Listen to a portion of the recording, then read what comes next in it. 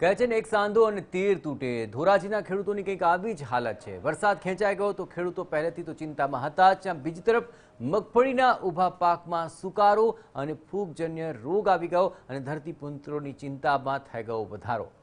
પહેલેથી જ દેવાના ડુંગર તળે દબાયેલા ખેડૂતોને વરસાદ નહીં આવે તો હવે મોટું આર્થિક નુકસાન જવાની ભીતિ છે.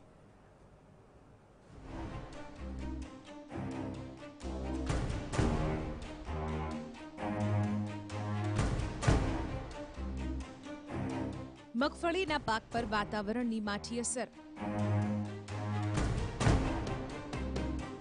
મગફળીમાં મુંડા નામના રોગથી ચિંતિત ધરતીપુત્રો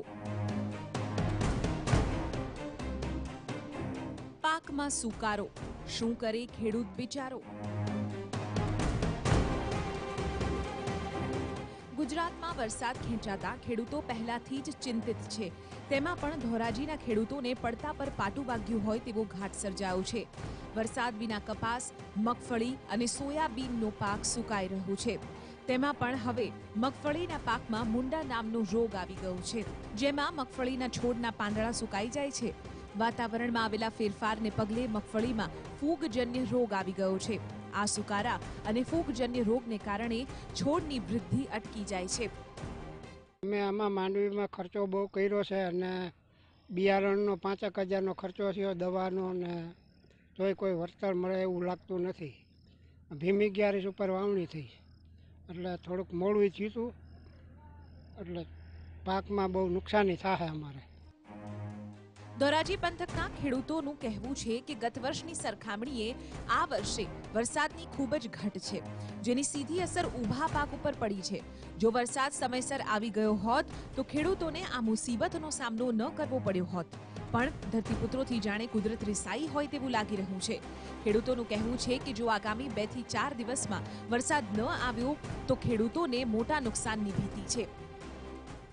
વરસાદ નથી અને મગફળીમાં રોગ વધારે છે.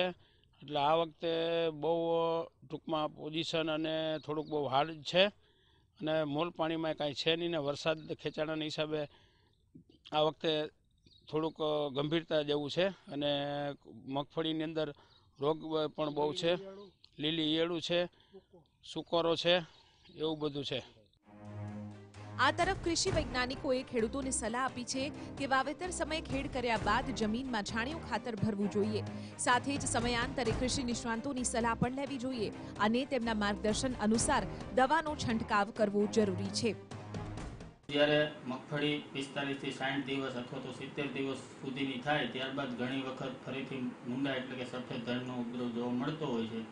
તો તેના નિયંત્રણ માટે આપણે ક્લોરોપાયરીફોસ વીસ ટકા દવા જે બજારમાં મળે છે, તે સાડા ચાર લીટર ક્લોરોપાયરીફોસ અને રેતીમાં ભેળવી અને જો ઉપરથી આપણે એને આપવામાં આવે એક હેક્ટરની અંદર, તો આપણે એનું નિયંત્રણ મેળવી શકીએ. પરંતુ તેના માટે જમીનમાં ભેજ અથવા તો પિયતની વ્યવસ્થા હોય, તો આપણે આ રીતે માવજત આપીએ, તો એનું નિયંત્રણ મેળવી શકાય.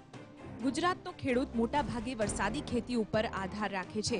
આ સ્થિતિમાં વરસાદ નહીં થતા પહેલાથી આર્થિક નુકસાન વેઠી રહેલા ખેડૂતોને મોટો ફટકો પડી શકે છે. બિયારણ, ખાતરમાં પૈસાનું પાણી કર્યા પછી પણ વરસાદ નહીં થતા ખેડૂતોની મહેનત ઉપર પાણી ફરી વળ્યું છે. Hussain Qureshi, TV nine, Dhoraji.